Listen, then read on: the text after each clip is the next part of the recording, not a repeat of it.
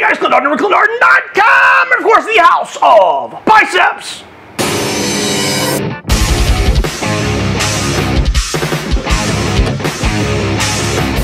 Alright guys, I'm here at the House of Biceps answering your questions. This question came in a couple of months ago. I was really hesitant to answer because there's no great way to answer the question. Jamie asked Clint, are painkillers killing my gains in the gym? Now, right off the bat, this individual is from the UK, uh, and I will say that through Europe, when someone uh, asks or mentions the word painkiller, it's completely different than what we think about in the United States when someone from Europe says a painkiller, they're talking about uh, ibuprofen, Tylenol, um, Voltaren, things of that nature. They're not talking about the same stuff they would in the USA. If you're from Europe and you're wondering what I'm talking about, in the USA, when someone says painkiller, uh, they're talking about something towards the direction of morphine, um, hydrocodone, uh, codeine, things that really kill pain. Uh, we consider ibuprofen, Nurofen, buprofen, uh, Voltaren, uh, Tylenol, Panadol, paracetamol, things of that nature, to be an anti-inflammatory. Not a painkiller, an anti-inflammatory. So you're asking me about an anti-inflammatory before training. Is it killing your gains? I've actually read several studies that talk about taking uh, anti-inflammatories, things of that nature before training and how it slows your progress, how you need that inflammation. And to a degree, if you look at, you know, the fact that I'm going to the gym and I'm taking 200 milligrams of ibuprofen uh, before going to the gym, First of all, 200 milligrams of ibuprofen is not a dose that is used to release uh, or reduce inflammation. Uh, that is a dose for fever. If you have a high temperature, that is a dose that will help reduce your fever. In general, to have any effect on inflammation, you need a minimum of 400 milligrams every six hours to reduce inflammation. So 200 milligrams is probably not doing it the chances are that if 200 milligrams fixes whatever you need to be fixed in order for you to go to the gym, you didn't really need 200 milligrams of ibuprofen in the first place.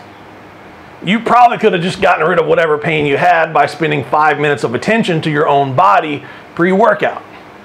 Now, working with the notion that taking an anti inflammatory uh, before training will not allow your muscles to inflame, also known as swell or pump, uh, that is kind of a bad thing. That is a negative thing. You want that muscle, tendon, uh, the, you don't want the tendon, but you want the areas in your body to be able to flush nutrients in and pull the nutrients out again as well. Inflammation is not always a bad thing. It's actually rarely a bad thing. You do want inflammation. It brings all the good stuff in, takes all the bad stuff out, repeats until it's healed. So you don't want that process to stop. But I do think that the idea that taking some ibuprofen or an anti-inflammatory or a painkiller, however you want to refer to it, before training is killing all of your gains is greatly overstated. Now, I'm sure it does, but to what degree? If I am so beat up that some foam rolling, some voodoo flossing, some massage, and some hot cream won't work out whatever kind of pain that I have, I probably don't need to be in the gym anyway. And if I'm at the situation where I absolutely have to take something for inflammation and pain relief so I can go train, that means I probably have a contest coming up or something serious coming up. And I'm going to do whatever it takes to make sure that I get to go train while you sit on the couch and complain that you're too sore to go train. Let that sink in for a minute. Who's going to make better progress? The guy who says, no, I'm not going to take 400 milligrams of ibuprofen. I'm going to sit at home on the couch and rest today.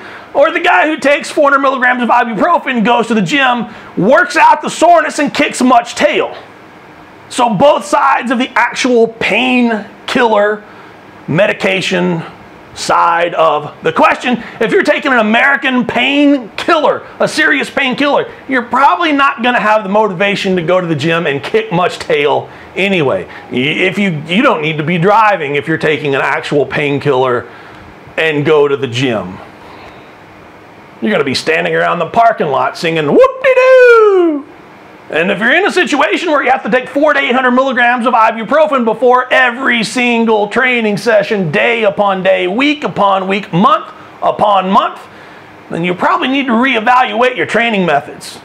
Maybe the reason you're doing what you're doing. You need to change something else besides the medicine. But all in all, taking a little bit of ibuprofen now and then, as long as you're healthy, it's not going to kill your gains.